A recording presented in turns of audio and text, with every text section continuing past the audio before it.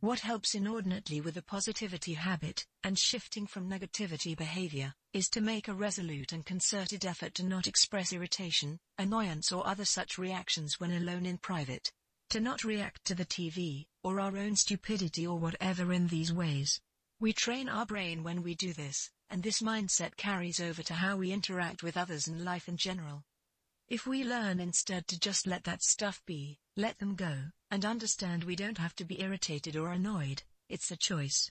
Doesn't make us any less good if we don't respond to negativity with negativity, just makes us contributors to more downward spiral. We can respond to the negative in many different ways, and that's the key to unrelenting positivity, training ourselves to respond in alternate and positive ways, learn to actually see the world differently and thus react differently. This does not mean we cease to see negativity, not at all, but we see how our reactions to negativity are the issue, and through our reactions, we come to our responses, and here we can make a phenomenal and profound difference to the world, just by changing how we habitually and automatically react. We can make those reactions positive, and thus profound. When we go further, focusing on how we feel, that's when it all changes.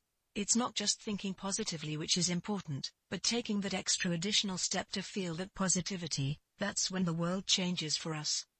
Nobelia.org Self-Discovery Project.